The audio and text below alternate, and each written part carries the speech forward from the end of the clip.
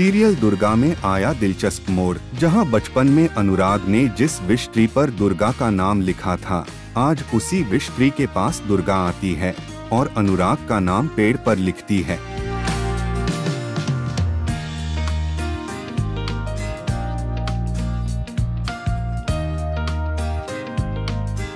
दुर्गा इस पल में बेहद मगन हो जाती है। लेकिन कहानी में ट्विस्ट तब आता है जब वहीं अनुराग भी पहुँचते हैं। फिर क्या होता है, ये आप खुद देखिए।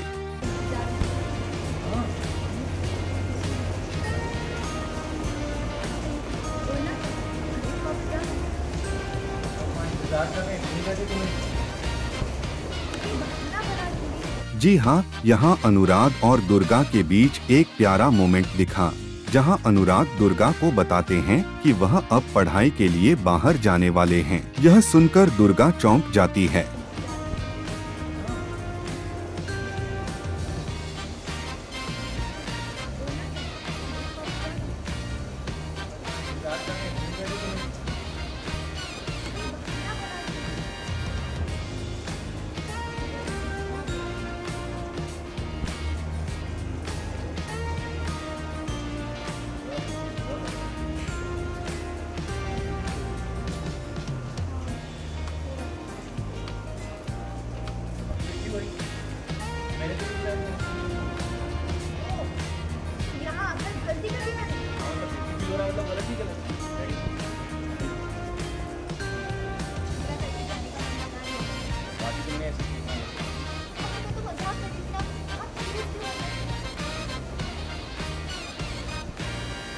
दोनों के बीच दिखा क्यूट मोमेंट जिसके बाद कहानी में आता है, एक और ट्विस्ट जब अनुराग दुर्गा को एक रिंग देते हैं और फिर दोनों वहाँ से निकल जाते हैं। वही रास्ते में दुर्गा अनुराग की दी हुई रिंग को हाथ में लेकर सोचने लगती है।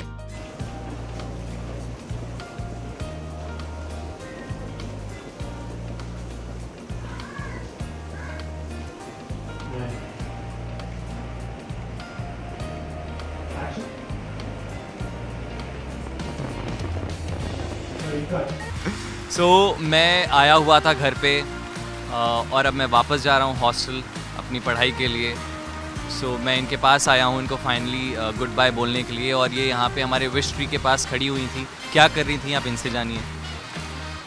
जानना है क्या कर रही थी? अच्छा। तो मैं मैंने बचपन में इनसे एक वादा किया था कि जब मैं बड़ी हो जाऊँगी तो उस पेड़ पर अपने साथ उनका भी नाम लिखूँगी। तो बस वही वादा कर पूरा करने मैं यहाँ पर आई और मैंने अपने नाम के साथ कुंवर सा का भी नाम लिखा। अब ये मेरे नाम को स्पेल कर सकती हैं। बचपन में नहीं आती। वेल आई डाउट कि बड़ी हुई हैं कि नहीं बट हाँ अपने प्यार की निशानी दे रहा हूँ मैं इन्हें तो पता नहीं है।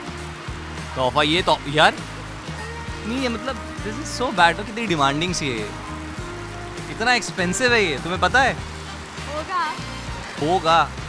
मेरे साइज़ की नहीं है ना मैं पहन नहीं सकती तो क्या फ़ायदा? हाँ तो मैंने अपना रिंग दिया इन्हें। As a token of love as a gift जो कि मुझे एक रात पहले देना था।